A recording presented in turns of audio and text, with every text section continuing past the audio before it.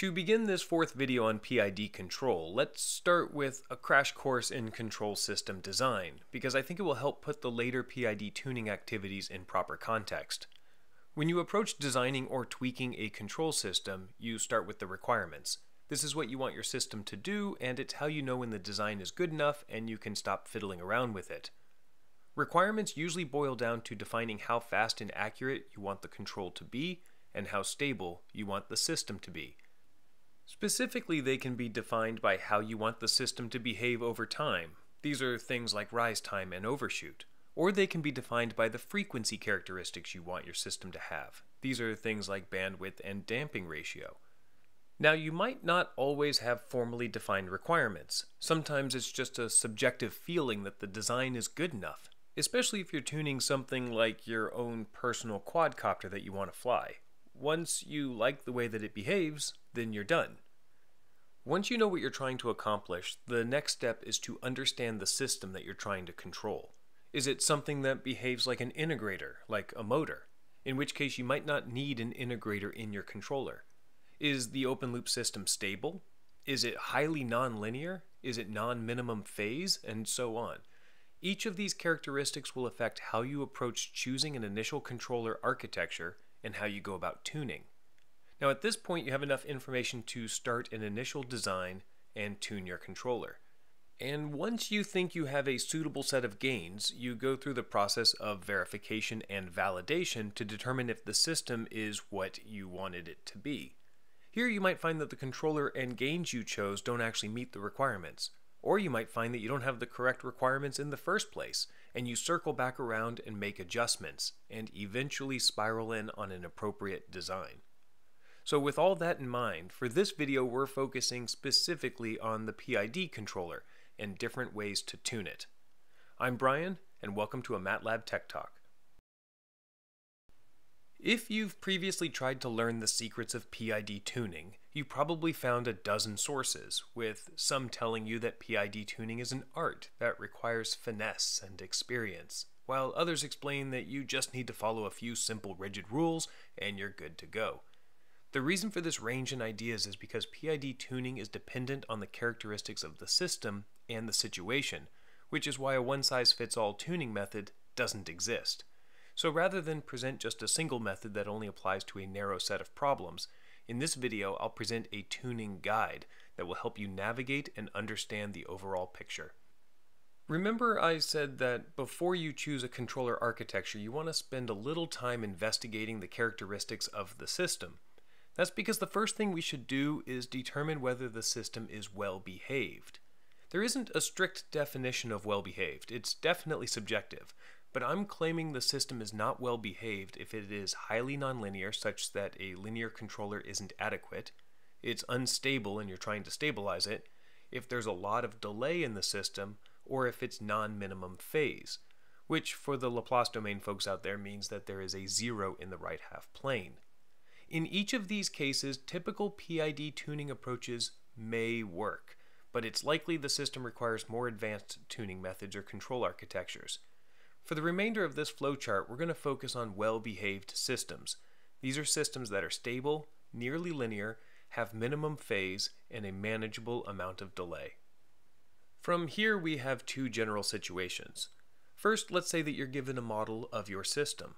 A model is a mathematical description that could be presented as a set of transfer functions, state space matrices, equations of motion, or a more complex simulation. Perhaps you got it from a textbook, or maybe the company you're working for has a team that developed the model for you. In this case, you have the ability to tune the gains using a model-based approach. Or the other situation is that you don't have a model, but you have access to physical hardware, either the real hardware or some prototype or mock-up that you can use for testing and design. This is the case if you purchased a consumer grade quadcopter or some industrial machinery like a commercial thermal chamber that allows you to change the PID gains. More than likely, you're not going to get a mathematical model of these systems. But that's okay because the beauty of PID control is that the gains can be tweaked manually so that you can adjust them while running the hardware, then observe the response in real time and make changes to gradually hone in on a set that you're happy with. Want to decrease rise time? Add more proportional gain. Need more stability or decrease the overshoot? Add more derivative gain. This approach is definitely more art than science and requires a good understanding of how each path affects the system response. But unlike other control architectures, there is some intuition about how PID gains affect the system, and that allows you to adjust them in a way that isn't just trial and error. I've put a link in the description below for a handy chart that describes how the P, I, and D terms each affect different requirements. Another more systematic approach would be to run some predefined input sequence on your hardware and then observe the open loop response. Often this is a step input, but it can be any arbitrary command. From the response, you can use a heuristic technique like the Ziegler-Nichols or Cohen-Coon method. These methods are nice because you don't need a model. You just need to measure certain aspects of the response, like the time constant or oscillation period, and then use that value to calculate an initial gain set. For a thermal chamber example with the Cohen-Coon method, you could start with the oven at room temperature, step up the heater command to fully on, and then watch how the chamber temperature rises and eventually settles out. From this response, you could measure the delay or the dead time, the gain, and the time constant, and then plug those into an equation to get your initial gains. You have to be careful with the Ziegler-Nichols method on real hardware because it requires you to get your system oscillating on the verge of instability, and that's dangerous for a lot of systems, and maybe you're not comfortable doing that. Either way, these heuristic methods only provide an initial guess. Hopefully, it's a close guess, but your system may still require manually tweaking the gains to get the performance that you're looking for. Alright, Perhaps you only have physical hardware, but you really want to use model-based techniques to tune your controller. In this case, you need to develop a mathematical model yourself. And one way to do this is to derive a model from first principles.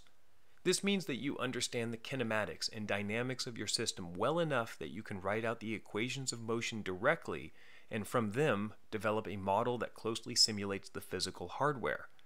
This works relatively well for simple systems, but can be very challenging for something complex. An alternative way to develop a model is to use system identification techniques.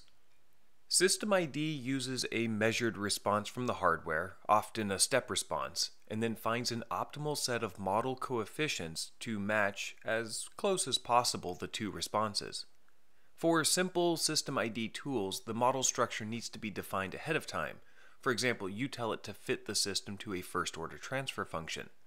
More advanced tools will find the optimal model structure for you as well as the coefficients. And the nice thing about System ID is that you can generate a model without knowing all of the detailed kinematics and dynamics of your system, which is often a limitation we have, and instead just think about the general behavior. At this point, you have a mathematical representation of your hardware, whether you used system identification, you derived it from first principles, or you were just given a model. And the next question is how to go about tuning the PID gains using model-based design. There are two very broad approaches that I'll summarize. The first is manual tuning. Manual tuning is basically using your knowledge of control theory to choose the proper gains. There are far too many ways to accomplish this to call them all out individually in this video, but I'll quickly describe three popular methods. First, we can determine where we want to place the closed loop poles so that the dominant poles produce the system stability and the response that we're looking for. Solving the equation for the proper gains with pole placement is pretty straightforward. However, the downside with this method is that it requires you to know where you want the poles to be and how the zeros in the system are going to affect the response. Another method is to use the open loop transfer function and our knowledge of things like Bode and Nyquist plots to shape the loop function so that our closed loop system has the frequency or time domain response that we need. This method requires that you understand how the open loop system compares to the closed loop behavior and how adjusting the two zeros of a PID controller affects that behavior. Finally, if you choose to, you can abandon the reliance on intimate knowledge of control theory and instead rely on the people and the methods that have come before you by once again using heuristic methods.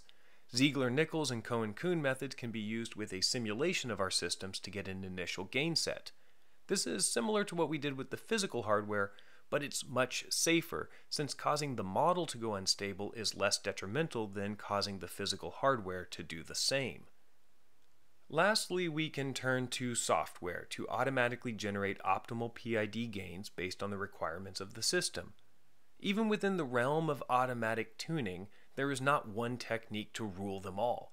You may not know the specifics of what the software is doing, but most auto-tune programs are using the exact same techniques and heuristic methods that we just talked about, but they're wrapped up in a nice, neat function. In fact, auto-tuning can be done using a model of the system, or it can combine system identification by using the input and output responses directly. Auto-tuning can even run real-time on the hardware, constantly adjusting and optimizing the gains. Regardless of the technique used to generate the initial gain set, often as a designer you still end up having to tweak the gains manually to get the exact response that you want. This can be done using the model or while it's running on the physical hardware. And I can't stress this enough. Being able to tweak the gains is a strong reason to use PID rather than another controller form, because it can be an intuitive process for well behaved systems.